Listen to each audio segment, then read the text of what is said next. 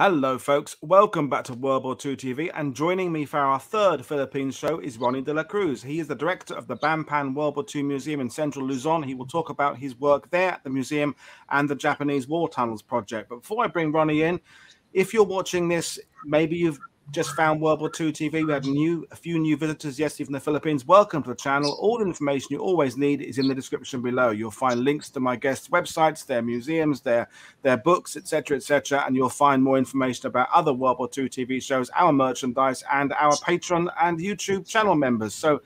That's the housekeeping done. I'm going to bring Rhonie in now. Good uh, afternoon where you are, Rhonie. How are you today? Well, I'm good. I'm, fine. I accept the weather. Uh, we've been experiencing a lot of uh, monsoon rains, but everything is just fine here. I'm here now in my museum in Bamban, Luzon Islands. Brilliant. So before we, we, we bring up your PowerPoint, I wanted to ask you about you know, I'm from Normandy, where if you live in Normandy, you're completely aware of World War II. There are monuments everywhere. There are tanks, monuments, and yep. in the Philippines, with a massive, great population, how how much is World War II in people's day to day life, or is it kind of been forgotten by lots of people? Yeah, that's very sad. It's uh, kind of almost forgotten, you know. And uh, to tell you frankly, uh, in the whole Philippines, we have quite very few World War II museums, museums dedicated for World War II. But in fact, uh, every town and city in the whole Philippines had their own World War II heroes. Mm. But the sad fact is that that's being forgotten enough, even the history. And that's one main reason why I put my own museum dedicated to my father, uh, my grandfathers, and my uncles, and all those from my town who fought during the war and it's a sad reality, you know. But uh, in my personal level, I have to do this. I have to preserve their memory, their legacy, preserve the history of World War II.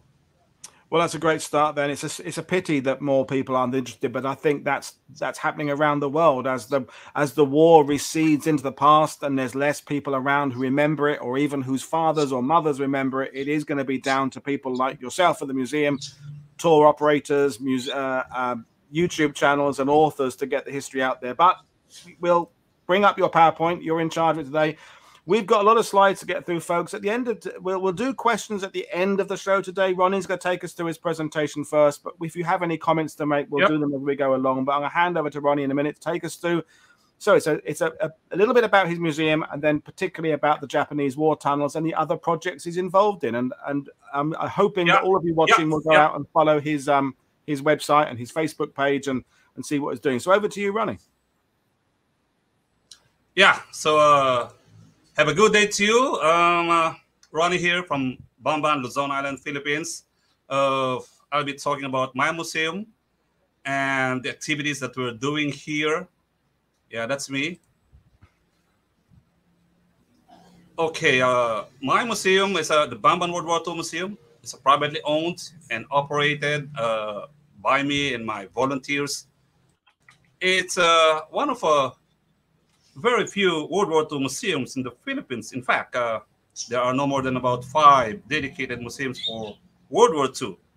And it's a, a personal project to honor our local veterans. Well, in my family, I got six of them, three on my mother's side and three on my father's side. That's the, the image of my museum taken in the evening. Okay, and that's uh, the inside of the museum. Yes, uh, uh, here in this gallery, you can see uh, our local veterans. Some of them fought in the battlefields of Bataan and Corregidor.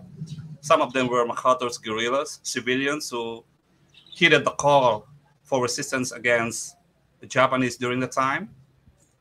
And our Aita Negritos. And another purpose of my museum is to preserve and promote World War II history. And you know, uh, this this kind of history is actually a personal one because we're really connected with it. You know, mm. uh, our members of the families fought, um, as I have been telling, um, in the Philippines.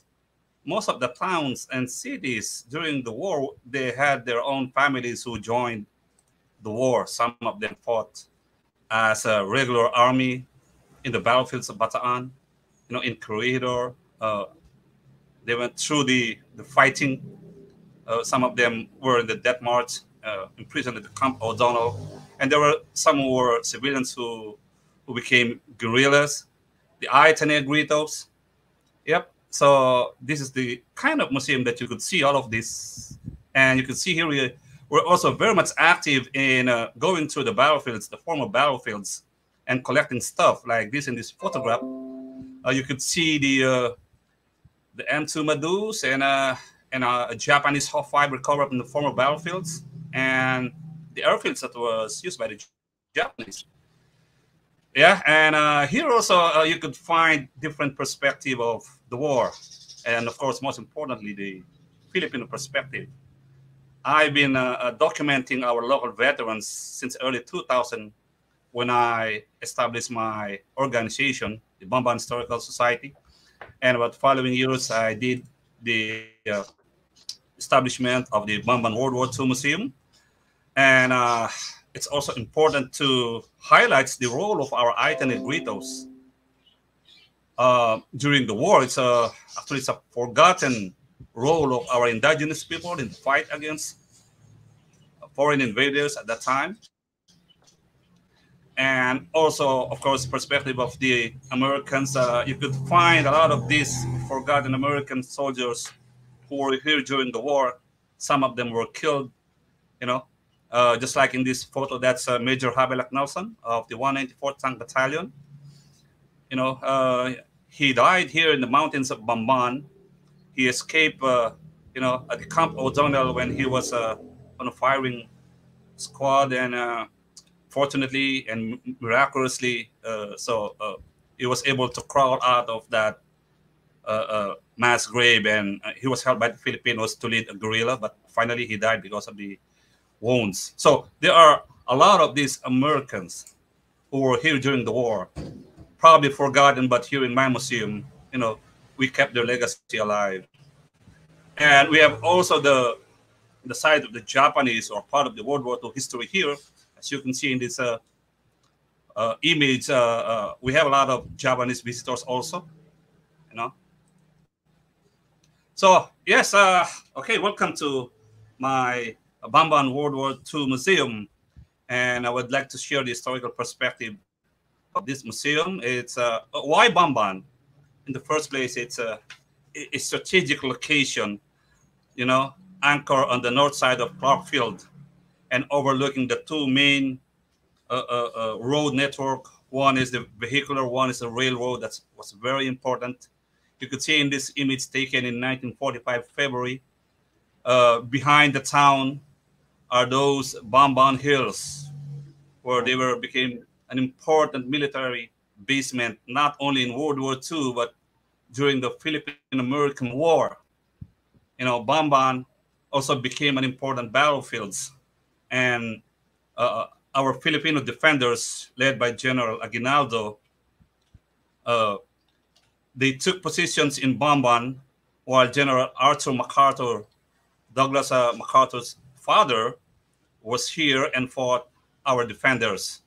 So, because of the strategic place, the high ground overlooking the major highway and the uh, uh, train station at railway, and it is the gateway to Clark Field, uh, you can see in this map, Bamban is anchored to the north where the, the main highway leading to Manila. And it was also uh, an important factor that uh, a lot of these airfields were constructed at Clark Field and including the Bamban airfield to the north, where these mountains provided, you know, a strategic emplacement and uh, here is a photograph of the 40th Division fighting in the hills of Bamban. You know. Okay, so you can see in this photograph, this is a photograph of our Liberation Day. Uh, there is a boundary sign that says Bamban, and at the bottom is a Japanese, uh, I think it's a katakana. Yeah, and these were the first uh, American soldiers from the 40th Division, and they were accompanied by Filipinos. Well, Bamban is just a, a few minutes away from Clarkfield, and that's another important thing. And Clarkfield, you know, was a major American airfields even before the war. As you can see in this image, that this is a photograph here was taken sometime in 1924. I think this is the Havilland uh, D, D4H, and that's the, the, the original Clarkfield hangar. And it was uh, occupied and used by the Japanese Army and Navy Air Services uh, after the occupation of this uh, place and the Battle of uh, uh, Bamban Bridge. And you could see here, uh, it's a massive, really massive uh, aerodrome center in central Luzon. You could see to the almost to the, to the center, that's uh, Fort Stotsenburg. And to the right, these are the many airfields, something like 13 airstrips constructed by the Japanese. And of course, uh, the Clark Air Center, so the Japanese, they expanded the original Clark Field into uh, uh, satellite airfields from the towns uh, in the towns of Bamban, Mabalacat, Angeles, Porac, and the inside the Clark proper. So you can see here the Zambales Mountains behind the back, you know, and the, the, the, the massive uh, airfields to the, to the direction of the east. And that's uh, the, the Zambales mountain range these were very important, you know, basement for the guerrillas overlooking all of these airfields. That's why it was very important that, uh, you know, the guerrilla resistance movement that was started by Major uh, Lieutenant Colonel Claude A. Thorpe from the battlefields of Bataan, he moved here behind Clarkfield because that was a very important mission to gather intelligence. And he was staying above the grounds overlooking these airfields. And of course, the Japanese, uh, uh, they, they, they completely developed these areas, part of central Luzon, as the Clark Air Center, where the, the first air fleet of the Imperial Japanese Navy and the Fourth Air Army established numerous airfields and used them uh, in, in, in, in a battle uh, in, in Leyte and on the operation against the Americans in Mindoro and in, in Lingayen. And also from these airfields, organized the kamikaze special attack forces. Of course, who would forget the guerrillas? You know, these brave men who went behind Japanese lines to organize the resistance from these hills in Bamban and above Clarkfield. You can see in this photograph that's uh, Captain Bruce being interviewed by an officer of the 40th Division. And on his side were uh, are actually naval aviators shot down and became part of the guerrilla movement. And on the right side, these are the American guerrilla officers who were tasked to organize and continue the fighting behind Japanese lines. And this is very important also, the forgotten role of our indigenous people here in, in the region, the Aeta Negrito Squadron 30 under Captain Bruce. And on the other side, that's the Negrito Squadron 155. And you could see in the center, that's Codjaro, Colonel Codjaro. You know, this this guy is very amazing personality. You know, he was uh, one of the very few, probably the only indigenous people, Aeta Negrito, who was fully recognized by the United States Air Force. And when he died in 1970, he was given full honors and he's buried at the American Cemetery here at Clarkfield. Mm. And the other unit, the Sawang Mountain Patrol, these were located in the mountains of Sawang in Zambales Mountain. It's, uh, you know, uh, literally the, the mountains or the Zambales Mountains behind Clarkfield were actually, uh, uh, these were mountain routes where the indigenous people could travel on the mountain trails going to some to the provinces of Tarlac, to Pampanga and Zambales, all up operating under the umbrella of the Luzon guerrilla forces. And they were very, very instrumental for the resistance to survive, continue, because as I am telling, the American guerrilla leaders, Lieutenant Colonel Claude A. Established the, the guerrilla resistance in their ancestral domain because mm. the Japanese were looking for them. They put a huge amount of money in their head. And the only way they could survive is to go into this Aeta Negrito ancestral land. And from there on, they established numerous USAFFE guerrilla units in every town and cities across the plains of central Luzon and expanded in the other, you know, areas. And you, you, you could tell that most of the American guerrilla leaders actually came or passed along the headquarters of Colonel Thorpe behind Clark Field. And part of the World War II history here is the, uh, you know, the founding or the establishment of the Japanese kamikaze special attack forces. Okay, uh, in the town of Mabalacat, when Admiral Onishi, you know, visited the the officers of the 201st Kokutai or the air group and organized the first kamikaze special attack forces. And in, in this photograph, uh, that's the, the first uh, successful sorties of the naval kamikaze at Mabalacat East Airfield. And to the right side of the photograph is Admiral Onishi and staff. Of course, there is also another kamikaze, the Army kamikaze, and you could see here that's in Margot airfields. You know, Japanese are before for their sortie. And to the other side, that's uh, uh, that's the uh, the Japanese uh, commanding general of the Fourth Air Army, General Tominaga, giving final instructions the Japanese kamikaze. Now, let's go to the air war and the destruction of Clarkfield. It was on September 21 when the naval, uh, uh, uh, the American naval uh, forces began massive uh, aerial bombardments of Japanese facilities in Luzon.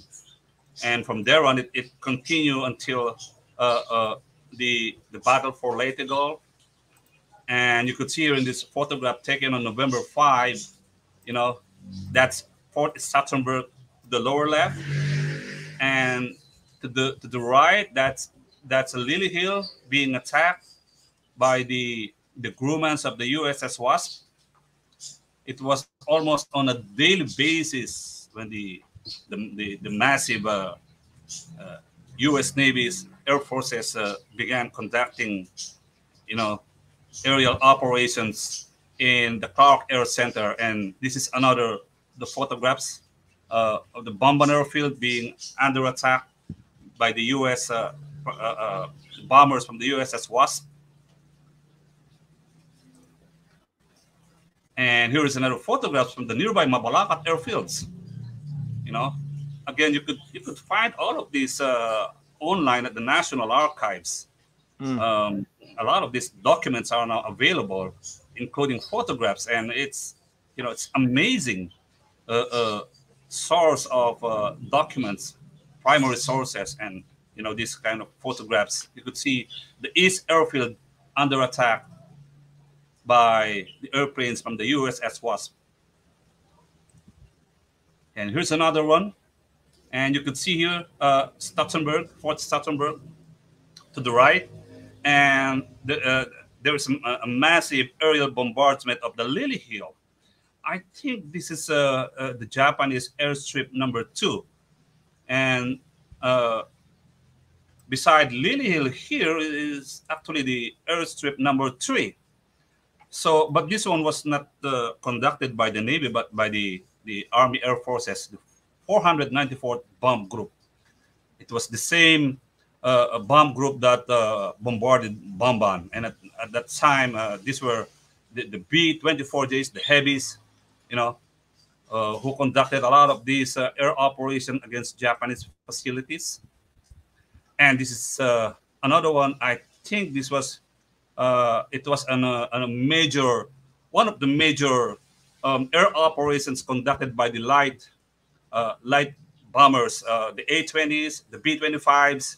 You know, it was on January 7 when they came from Tacloban and some of them uh, from Mindoro and conducted uh, one of the largest uh, uh, air operation in the Southwest Pacific on January 7. Uh, the 312 bomb group also were here and the air Apaches, you know, and you could see here the, the mountains behind Clark. These are the Bamban Hills and the airfields under attack. I think uh, the hangar below, this is the original hangar of the Clark field. Right. Yeah. And just to interrupt you for a second, Rhonie, because and yeah, by the way, sure. this is fantastic. Is is what you're saying is is I'm thinking of what John McManus said on last night's show is that so many people when they think about this part of the war they think about the naval battles the carriers engaging carriers and the, the cruisers and the destroyers and and McManus made the point that the the fighting on on the ground in the Philippines is an incredibly vast and complicated and and decisive campaign, and yet it seems to get overlooked. I mean, you made the point about the Jap- the 13 Japanese airstrips around Clark Field. You made the point about the Army Air Corps bombing it, the importance of the guerrilla and the resistance networks. Yeah. Are you frustrated when you read general books that when they talk about the Philippines, it's always about the naval battle? It's always about what's happening hundreds of miles off your shores. And you do you feel that the Philippines campaign is is overlooked somewhat? Well, uh, in some ways, yes, but you know the the, the period in history here, yes, the the navy it was the navy's war at the beginning yeah. in in uh, uh, October 1944. However, this is my presentation, the slide, the battle for Clark Field and Bamban Hills, and this goes with the army, with the, with the yeah. land battle. Yeah. So, yeah, um, uh, th this is the kind of uh, uh, uh, part of that World War II history that should be also um, promote being to, to promote, you know, and this is actually uh, my museum's uh, main uh, you know exhibits the 40th yeah. division the 43rd the 38th and all of these uh, divisions fought under the 6th army and the 8th army and so in fact uh, as we go along i could show you um, one distinct image that will be you know, uh, uh, an important part of World War II history. But so, by the way, yeah, uh, yeah. as you can see in this map, okay, Bamban anchored to the north of Clarkfield, and that's the area of the 40th Division on January 23, 1945. And uh, uh, the 40th, they came along the national highway and the railway, and uh, they were tasked to clear the Japanese Kembu group or the Kembu Shudan in Bamban Hills while the 37th Division, coming from the east, would strike Clark Field. And from January 28 up to the end of January was the fighting on Stotsenburg and Clark Field, while the 40th, they stayed for more than a month because they have to clear the main Japanese forces at Clark Field, the Kembu Group. And the Kembu Group were anchored on a vast mountainous areas overlooking Clarkfield. Their mission was to prevent the Americans from utilizing the airfields. And from their location on the high ground, they established and constructed more than a thousand tunnels. And the machine guns and automatic cannons from the wreck aircraft, they, they moved these to the mountain positions that uh, eventually the US Army would call the most extensive tunnel defense system ever fought in the Pacific outside of Okinawa. And this is also, you know, a forgotten uh, episode of World War II, the, the, the tunnel warfare, you know. Okay, uh, here, uh, General MacArthur was here on January 26, 1945. You could see here, he was in Camp O'Donnell uh, visiting the, the, the former concentration camp and I think that is the, the white cross that was erected by the American prisoner of war. And in the center, he visited General Rapp Brush at the 40th Division in Bamban Front. And from there, he moved to Clarkfield, where he saw the, the, the heavy artillery barrage on Japanese positions inside Clark Field. And you know the Japanese they they fully uh, utilize the higher ground and the rough terrain and con constructing numerous tunnels in every ridge and in every hill that to the American infantry, it was a minor campaign in every hill. And, you know, that's a very important part of the history. And the Japanese were really fanatical to stand on the grounds and they would rather die inside these tunnels. There were some, you know, uh, historical accounts of uh, suicide when the American uh, army uh, were clearing all of these tunnels, and they, they would just rather put some petrol, drums of petrol, and burn them literally. Wow. And here's a typical of the uh, Japanese tunnels in Bamban Hills. You could see this uh, a small hill uh, and the road network covering the whole slope of the hill, and you can see the numerous tunnels pockmarked on the side of this hill. We've been here. Uh, we, we, we, dug up two tunnels and we, we found some remains and uh, you know uh, lots of artifacts in this uh, hill.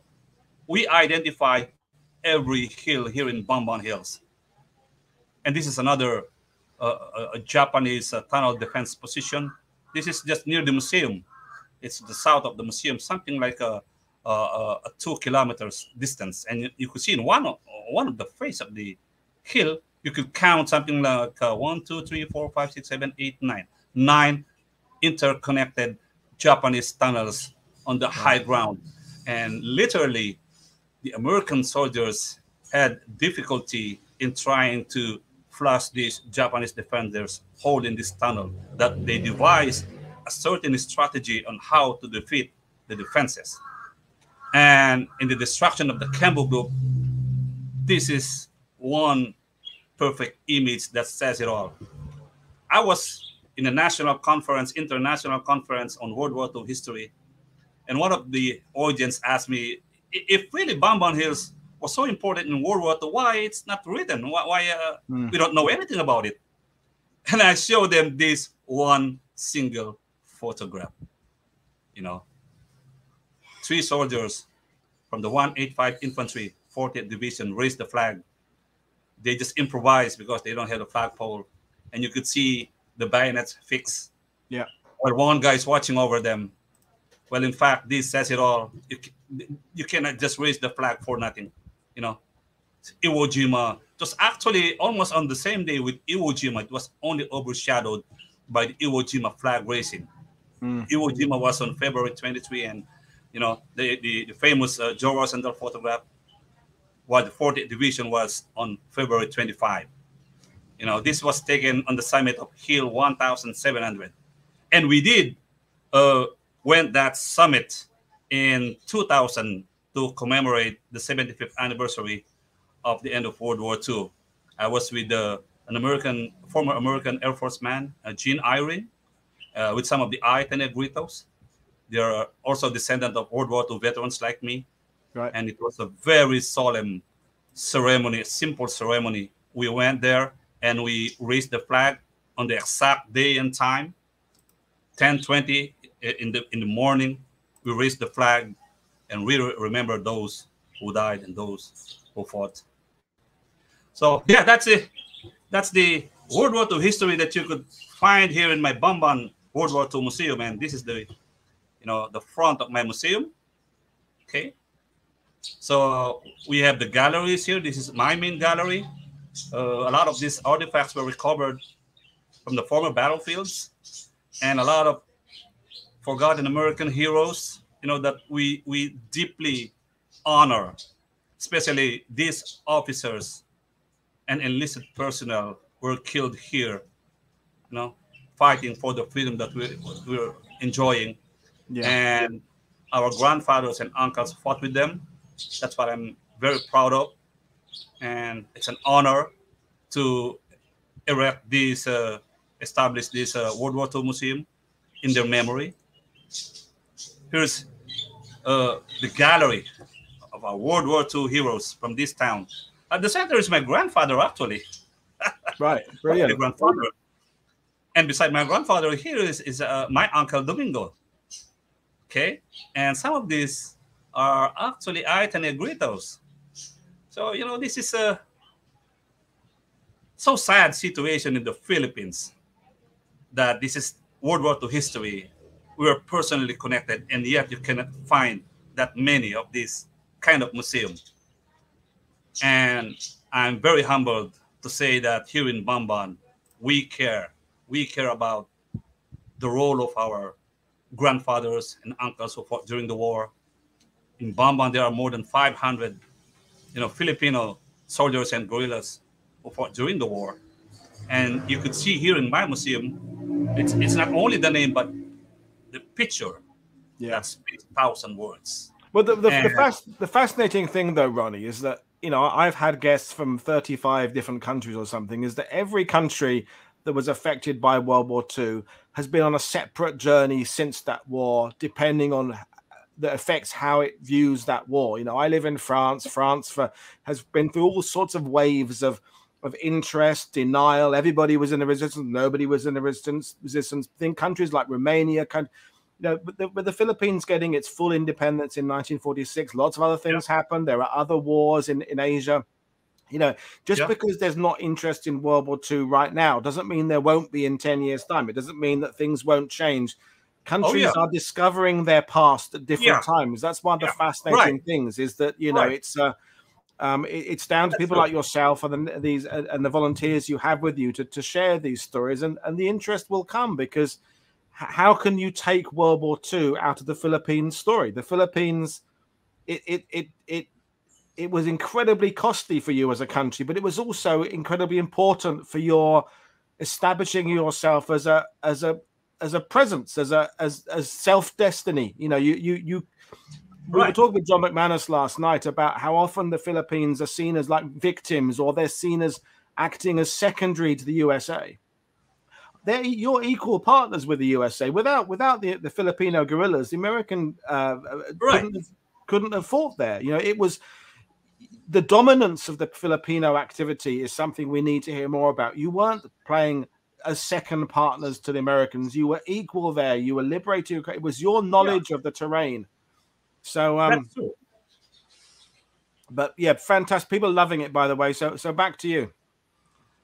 yeah uh you know uh here in my museum we we give uh importance to every guest uh we provided a museum tour we discuss aside from these uh you know images and artifacts we also discuss uh, and giving uh, uh, uh educational uh, um, narratives historical narratives about the war and you know uh, the role of the filipino guerrillas you know uh, i keep telling my visitors that uh, the eventual uh, uh, decision for MacArthur to fulfill the I shall return somehow is also related to the existence of the, the more than 200,000 Filipino guerrillas ready to fight and die. Yeah. And that's very important. And I'm very proud that among those guerrillas and soldiers were my grandfather and my uncles. You should be proud. Well done. Yeah, and this is, you know, this is one way of uh, saying to the world, hey, we're very proud of our uncles and our grandfathers. Come to Bamban Museum, see how we respect and honor. And by doing this, we would like to uh, convince and influence other towns and cities to put their own World War II museum to, to research and look for their families who who was part of World War II history, right? Yeah. And to put a museum like this that will inspire the present and the future generations. So here, here are our visitors. Actually, I think this is Japanese visitors looking at my grandfather. and in one of uh, the galleries inside, I mean, uh, uh, at the back is the, the the air war or the air campaign, where you could see some Japanese naval ace pilots and the American naval ace pilots who fought above the sky of uh, Bamban and Clarkfield. Now you can see me there, and these are Americans. Uh, I, I'm giving uh, you know, a lecture about the history that happened here. Behind me is the, the flag raising, and in front is a gallery for the, the air war. And not just the adults, but also the kids, of course, because you know these kids, unknown to them, they have great grandfathers, great uncles in their families who also fought during the war.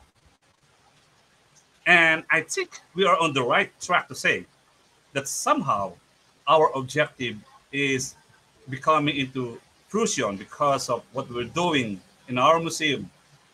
And here, uh, there are also some media personalities who come here, uh, uh, Americans, uh, Japanese, uh, Koreans recently. Now even the bloggers come here. So mm. here's uh, another gallery, the second Lieutenant James Hart Memorial Library. I name it in honor of Second Lieutenant James Hart, who was part of the 194th Tank Battalion and who led the organization of the first guerrilla unit in Bamban, but somehow he was killed in a Japanese raid in September of 1943. My grandfather and my uncles fought with James Hart, and our elders had a, a high respect to this man, you know. And so to honor him, I named this as a Lieutenant Hart Memorial Library. So yes, uh, we have a lot of activities, project and programs. Although we're, we are, you know, a, a private organization, but uh, we are the the group of World War II descendants that we have this uh, walk the talk, you know, and so uh, part of our activities is searching for the forgotten heroes, our World War II Heroes Project. It's one way of uh, connecting with fellow descendants of World War II veterans, not only Filipinos, but even the indigenous people. And I am very happy to tell that uh, in the near future, I will be publishing a book about our local veterans who fought during the war, Filipinos and the Aeta Negritos. And you can see here families of uh, World War II veterans visiting Bamban Museum, and you know we we make an interaction with them to allow us uh, to have the military records, photographs, and any manuscripts that would add to the collection of the World War II Heroes Project that we present here in our museum and in the near future publish their book so that they will never be forgotten. Aside from the museum, they have the book, and these will be the uh, veterans from this small town in the Philippines. Um, of course, we have another activities here. Uh, the Operation Fireflies. You know, um, Bamban Hills was one of the most extensive tunnel defense system fought in the Pacific, and the Japanese constructed more than a thousand tunnels.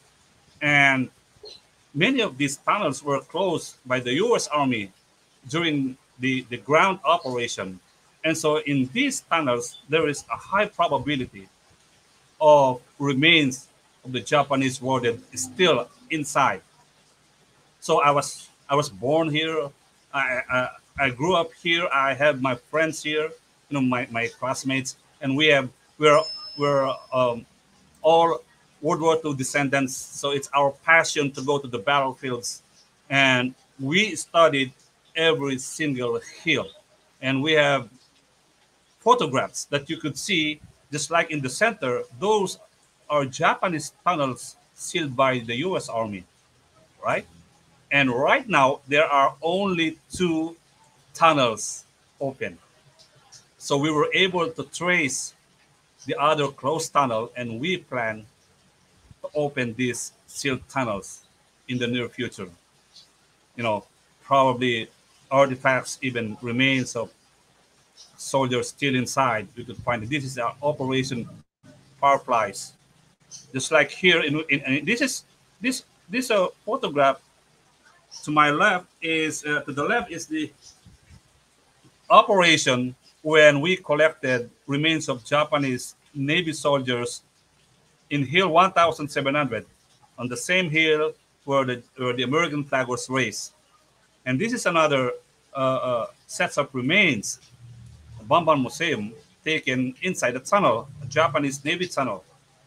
So, you know, uh, it's one of our passion to to check all of these um, Japanese war tunnels, and uh, we bring our metal detectors and our gear. We organize, you know, and see what's left inside. Sometimes we could just see a small hole and uh, open it and checking what's inside. So we call this the Project Discovery World War II tunnels. As you can see here in this sets of photographs, so from the left, that's a slope of a of a ridge, okay, and this is my team, and uh, yeah, we, have here one American guy, Gerald Randy Anderson Sr. with us, and in the middle of these uh, photographs, you could see we're, we're starting to dig on our target tunnel. And to the right, you could see we were able to open tunnel. So to think there, there are numerous of these sealed tunnels, and out of these discovering the tunnels, we, we collect artifacts. We actually conduct a survey and mapping of these tunnels and put them in a database uh, it's it's our goal in the future that we will publish a book about this. Mm-hmm. So here's another photograph. So just a recently opened tunnel here to my left, and to my right, we're discovering another tunnel here. And Paul, these tunnels are just a kilometer away from Bamban Museum. Wow. Yeah, they're very accessible look at the potential of these tunnels aside from you know World War II history. You could have tourism, you could have education. You know, uh, our grandfathers fought on these hills along with the U.S. Army divisions, the 40th, the 43rd, and the 38th. And you can see me here. We're, we're conducting mapping inside of these just recently open tunnels. And at some point here on, on, uh, on the photograph to the right, you could see me. Uh, and uh, my company here, Tim, Tim Beckinsale, an Australian archaeologist. Yeah, uh, we found some artifacts inside, and we're documenting this. You know, you could you could find this in my YouTube channel also. So there's a lot of adventure, and out of the mapping, we prepare a map similar to like this. Okay, and uh, uh hopefully uh, as as we go along in years, we could uh, uh, make a, a, database, a complete database, and uh, yeah, produce a book about what we're doing, our adventure on the Discovery War Tunnels. Mm-hmm. And, and, just to say, folks, I have put that, links to some of uh, Rhonie's films are in the description below. I think I've, I've put three of the films that Rhonie takes groups in there. They're in the description there. So when you finish watching this, folks, go off, watch Rhonie's channel and you can get more information. But yep. while, while, I've while I've interrupted you, we've got a couple of questions about the tunnel. So the first one is from Ian Carr. Was Filipino forced labor used to excavate the tunnels back in World War II? Yes. Yeah, that's right. Actually, um, I did a lot of uh, research about the uh, the Japanese uh, uh personnel officers and the use of Koreans, Taiwanese, Chinese, and Filipino forced labor. In fact, uh, I was in Japan in 2000 and 2001. I worked there. And while I was there, I took the time to do an extensive research, um, uh, gathering uh, manuscripts and books. And I even met a lot of the former soldiers who were here during the war. And from these documents, uh, I found out that uh, the, the Japanese had a record of these, uh, you know, labor personnel, as they called wow. the Setsuetai and the Setetai. Setsuetai, I think it's the Navy, and the Setetai is the Army, something like that. And yes, uh, based on the records, there were something like 1,200 Filipino forced laborers uh, uh, to dig these tunnels. And something like a Taiwanese, they have uh, 600 of them. uh, uh, these were just uh, plain civilians taken uh, from the towns and cities in, in Formosa and brought here to work with the Japanese army just to dig tunnels. And so goes with the, the Koreans and the Chinese also. Yeah. Probably almost the same numbers. And they were under Japanese officers in the Setetai and the Setsutai unit. Um, uh, uh, um, there were uh, distinctively units pioneers, just like 318 pioneers, 322 pioneers, like that. Uh, yeah, I did. I did an extensive research, and uh, hopefully, I will publish the book uh, in the future. So, yes, the answer is yes. There were Filipino forced laborers who did the diggings of these tunnels. A, a, very detailed answer. Thank you very much, Rhonie. So, so back to you. Yeah. So, aside from the searching for the closed tunnels, we also search for the open tunnels, uh, uh, do mapping of them. Um, you know, I, am very much afraid that uh, as the time passed, without documenting this part of World War II history, this will be just closed again by erosion or probably by human activity. You know, that, that's, it, that's why it, it's very important to have a database of this. And this is one of our activities also, the World War II battlefield history study. So in this case, uh, uh, this was taken in 2020, I think. It was it was at then at the height of the pandemic, and we decided to go and you know survey these tunnels. And the tunnel was located at the former Mabalacat West Airfield, which is inside Clark Field Freeport Zone. You know, very, very few Filipinos dare to go in these tunnels. the reason is that they're afraid that there are some snakes, of course, poisonous snakes, the Philippine cobra, or probably bombs or mines.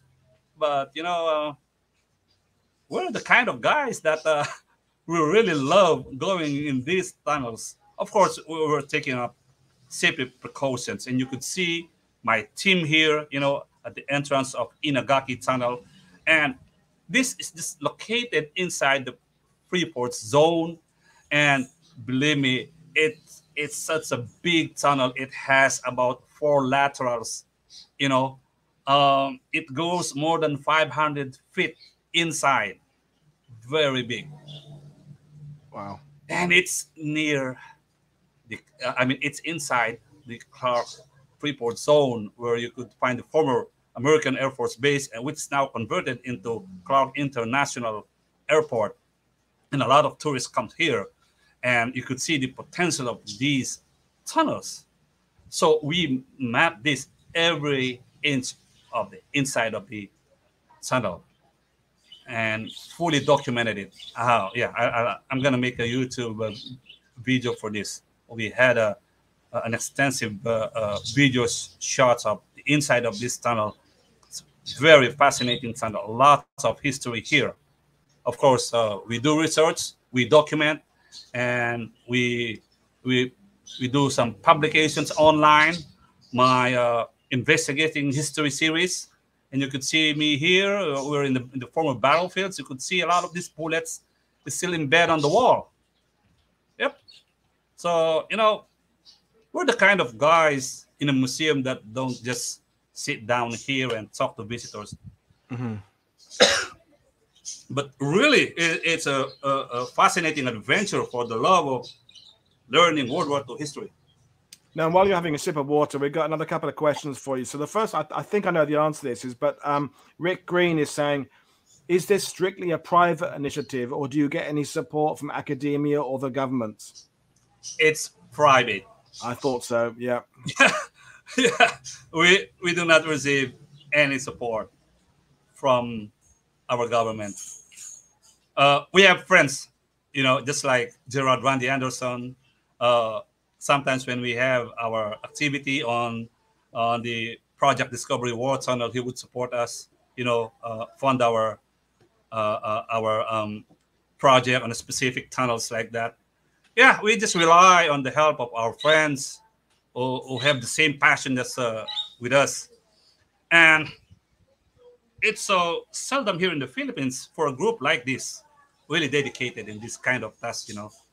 Yeah, well, hopefully uh, there's also a lot of battlefields out, former battlefields out there, and hopefully um, there are also persons or group of persons, descendants of World War II veterans, to do their own things like this in their own town and cities. You know. Yeah. Yeah. Uh, it's really private.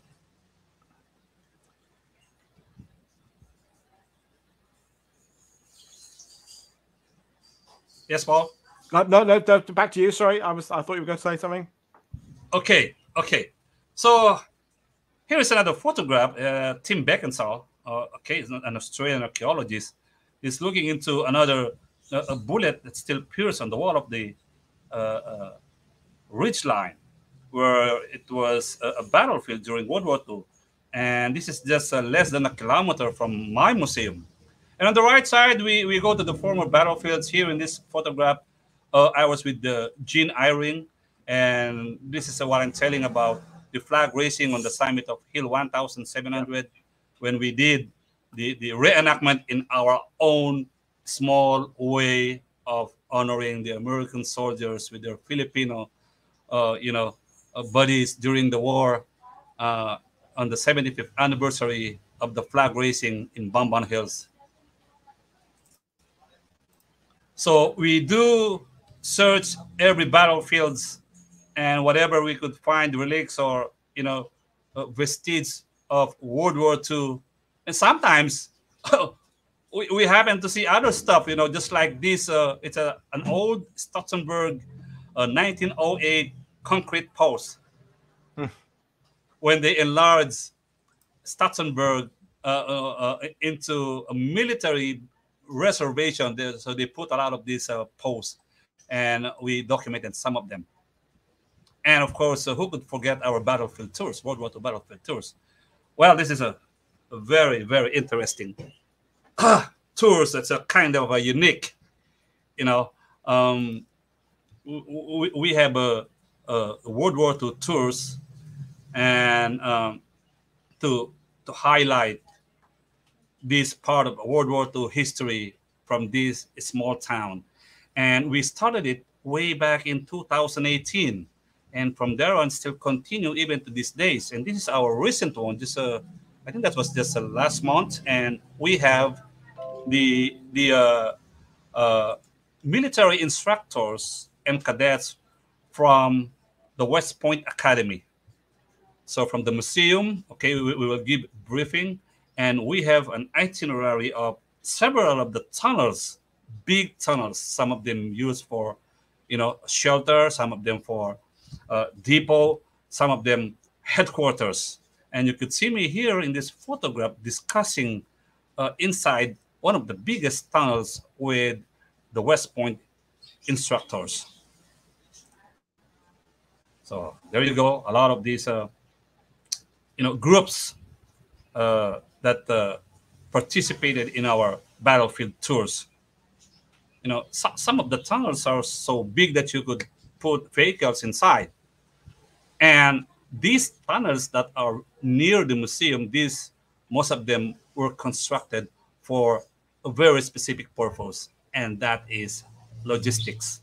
Mm. Because they're near the highway. In fact, the Japanese Army and Navy air services they they put aircraft spare parts into these tunnels because the Americans were bombarding you know, Clark Field and the satellite airfields in the Central Plain. So uh, uh, to avoid being destroyed, so they, they they decided to convert these tunnels, make them big, as their logistical supply depot. That's why uh, they are constructed on a very specific purpose. So here, here's one of our uh, materials for our World War II tours. You could see the museum as number one, and you know uh, we have an itinerary. Um, you could go to the number two. These are there are two big tunnels here, and number three. And in the vicinity, you could find a lot of tunnels, and we keep on searching for the closed tunnels. And recently, we we we found three of them, and we have another two suspected closed tunnels that we would like to open soon. Wow. Yeah, but right now, you know, the, the weather is so bad. Uh, we've been experiencing almost two weeks of continuous monsoon rains. So probably when the weather improves, so we will uh, go back again to the former battlefields and do the uh, the adventure. Operation Homecoming is a very fascinating activity. Uh, we connected with uh, some of the Americans who were here way back in the 1960s, 70s, and 80s. These are the guys at that time roamed the hills of Bamban gathered artifacts for a passion, brought them to the United States, and some of them were left here. And now uh, we're trying to reconnect with them and, and bring those artifacts into our museum. Isn't that cool? Wow. And we're, we're really grateful that these guys were able to, you know, uh, preserve what they had collected from the former battlefields of Bamban, and now they're, you know, coming back to our museum. So that's uh, my friend Dol, and Mike Ward also. That's a Nambu pistol. And these are his collections now in a permanent exhibit at Bamban Museum. So we we continue to, you know, to to connect with these people and some of the guys uh, who have artifacts that uh, if they wanted to bring them back here, you know, so we could put them in a permanent exhibit. And this is the collaboration program with the Japanese government, Operation Fireflies, where we, you know, uh, handed over some of the remains we gathered from the tunnels. Okay, uh, these were the representatives and officials from the Ministry of Labor, Health and Welfare when we handed over some of the remains.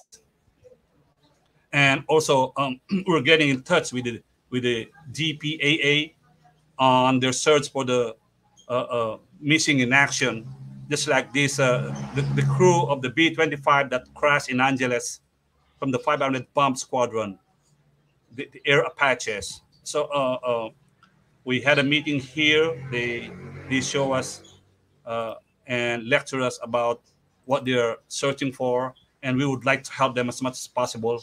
Get in touch with the locals. Any any lead, you know, any information that could help to that would lead to the recovery of the remains of the missing in action, American missing in action here in our area.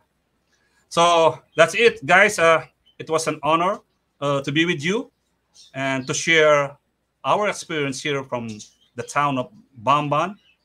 Uh, uh, and here's our, our website and my YouTube channel, and this and that's my address details. So, Paul, that that is the you know the conclusion of my uh, talk for today with you.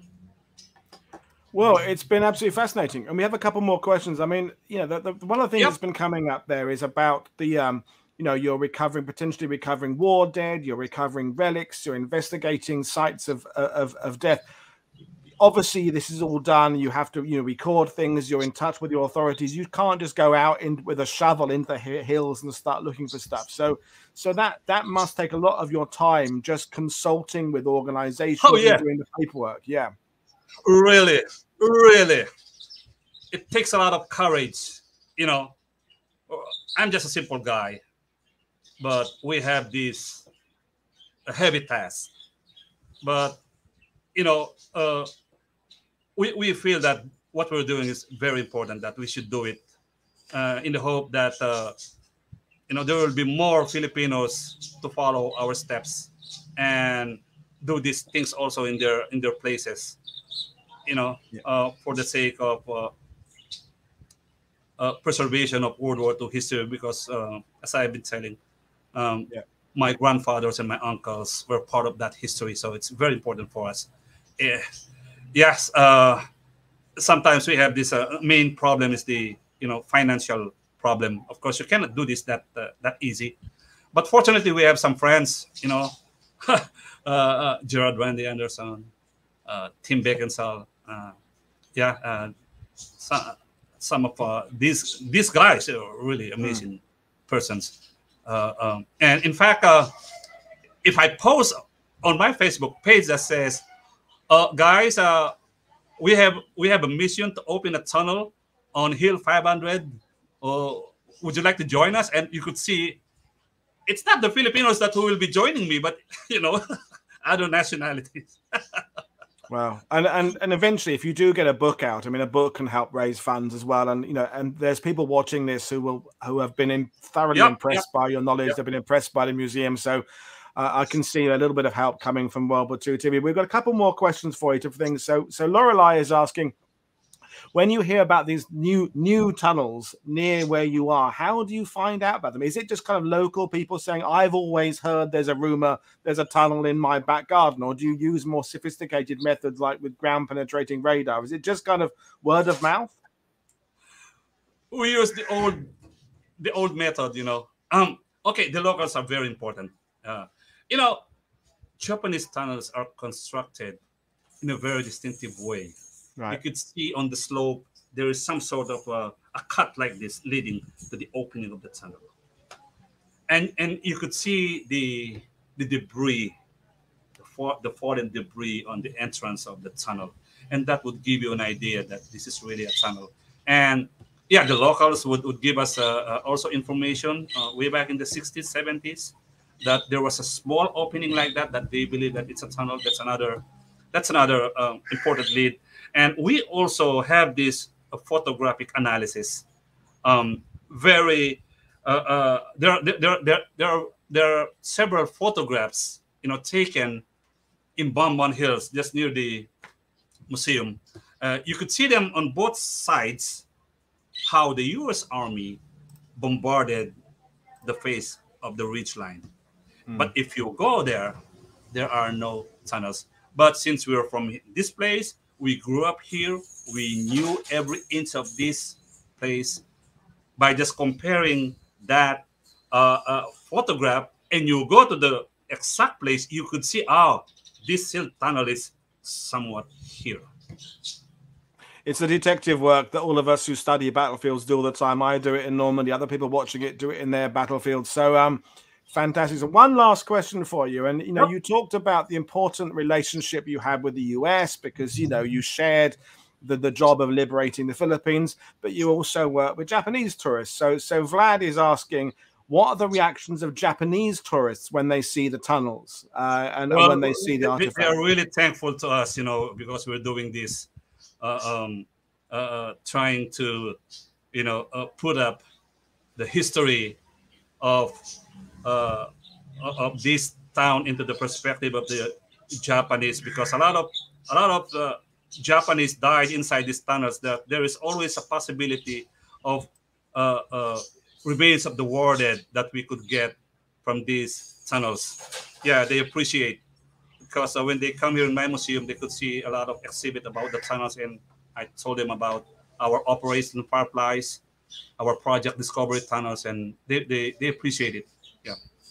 Thank you. Well, my last thing is the people watching this, and it's not just people watching it live today, there'll be people watching it over the next few hours and days, is other than getting in contact with you, following you on your Facebook page, going to your yep. YouTube channel, what what else can do people do to help the museum?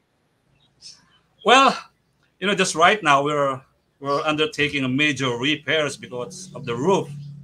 Uh, it was old, and you know, a simple guy and to make a museum is something out of this world.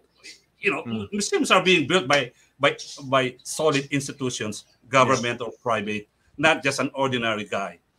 But uh, it is just uh, a matter of doing it to the best of what we have. Sometimes we don't have. What we have is the strength of heart to build this, and yeah, uh, they could get in touch with me if they would like to contribute to my museum. If they would like to help.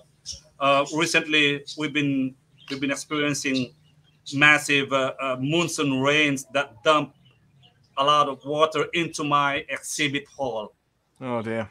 So yeah, so I decided to, you know, uh, approach my friends, and some of them, yes, Rhonie, we will help you and that's the reason why I was able to, you know, in my at my back is a new roof, yeah, that would save these precious artifacts, so that Filipinos, generations of Filipinos, will never forget that there was indeed the war of my grandfathers and my uncles, that every Filipino family has a blood of World War II heroes. That's the most important thing. And of course, those Americans who died here, those Americans who fought here, we, we will never forget these guys, you know. And to preserve World War II history, about more than 30,000 Japanese died here. You know, many of these were never came back in their home in Japan.